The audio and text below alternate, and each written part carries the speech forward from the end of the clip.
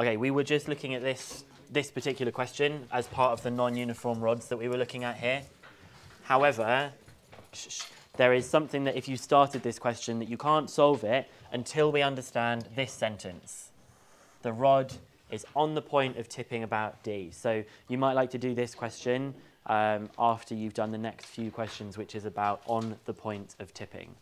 So you will see here, the next little subtitle is on the point of tilting or tipping. And really this is going to take me like no time to talk about at all. This is just adding in one more idea that we've got, okay?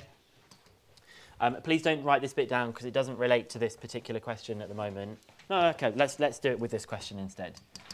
Let's actually do this question and we can, we'll figure out what it means when we go halfway through the question. So it says a uniform rod AB of length 4 meters and mass 12 kilograms, so it's uniform here, uh, is resting on a horizontal position on the supports at C and D, with AC being equal to DB being equal to 0.5. So I'm just going to start drawing that to begin with. We've got our AB, uh, 12 kilograms, so it's bang in the middle because it's uniform.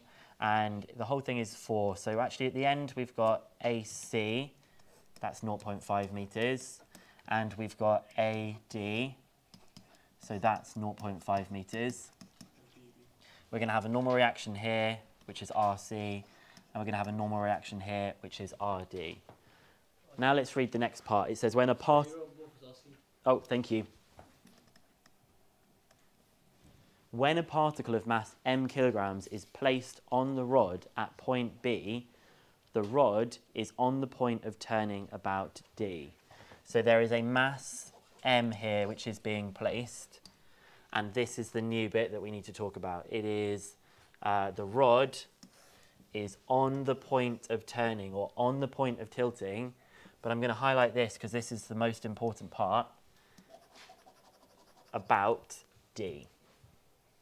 So what this means that's going to happen here is it's resting on two supports like this, okay? This, uh, my right hand is C and my left hand is D. If it is on the point of tilting about D, that's because there's a mass that's being placed at this end. Hamza, would you just come and stand up here so you can just do something for me, okay? So in this scenario, this hand here is C, this one is D, and Hamza is going to push down like he's the mass at B, and you're going to see what will happen.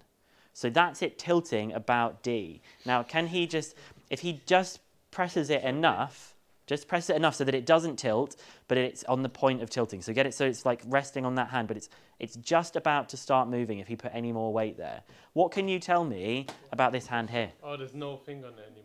There's, there's no reaction there at all because it's about to move. It's touching it. It's touching the top of my finger just a tiny, tiny, tiny bit, but basically not. Pushing down is the same as that, probably not. Yeah, so there's it's essentially, if it's on the point of tilting, I can remove that and it's still in equilibrium. Okay, that's, that's what we've got in this scenario that we have here.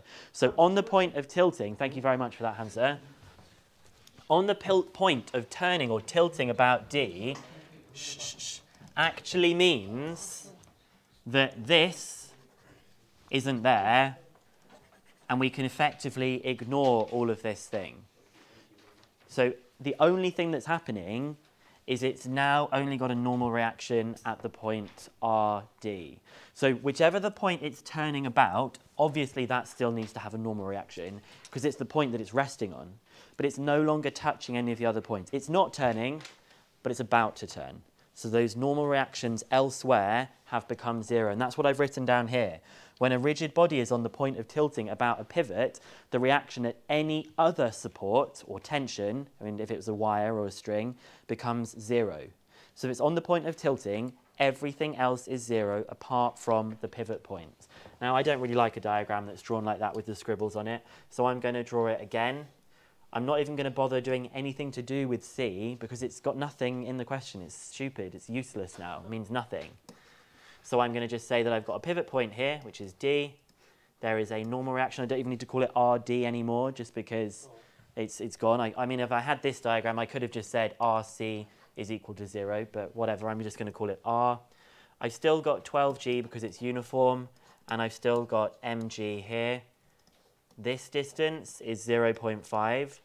The whole thing is 4 meters. So what's it from here to here? 1.5. So this little extra bit of the, the rod now is doesn't really do anything. Um, I want to find out the value of m. What am I going to do to find out the value of m? Best strategy, please. No. Good. Moments about D is the best strategy. Because if I take moments about D, I won't use R. So I'm just going to do 12G times 1.5 equals 0.5 mg. So I get, cancelling the g's out, I get uh, 12 times 1.5 is 18. 18 equals 0.5 m. So m is 36 kilograms. Okay? So when now we have, when things are on the point of tilting or the point of turning, all the other reactions or tensions are zero. That is now the rest of this whole booklet. So you can, in theory, go back to do this previous question here. It's on the point of tipping about C. So that means that the tension in C is zero and can be completely ignored when you draw the diagram for that second question.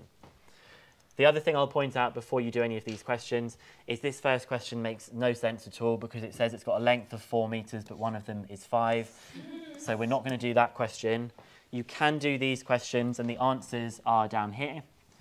And then you've got how many questions after that? The board has given up and is not responding. But you've got some exam questions in the rest of the booklet to do.